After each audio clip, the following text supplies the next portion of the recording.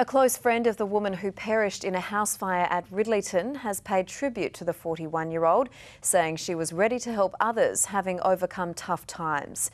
It comes as investigators ruled the cause of the fire is non suspicious. The intensity of the flames ripped apart the Hidson Street house in just minutes. The 41 year old who lived alone didn't make it out after the blaze ignited around 2.30 yesterday.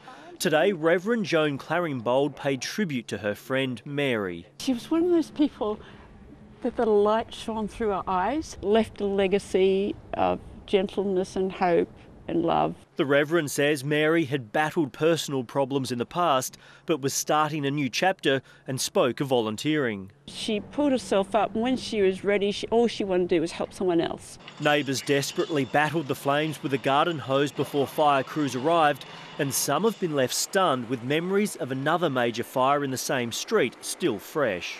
But I'd seen the fire at number five, and I knew how quickly fires could get hold. While police are now confident there are no suspicious circumstances surrounding the fire, the extent of the damage to the property means further investigations are needed and pinpointing the exact cause may take several weeks. Will McDonald, 9 News.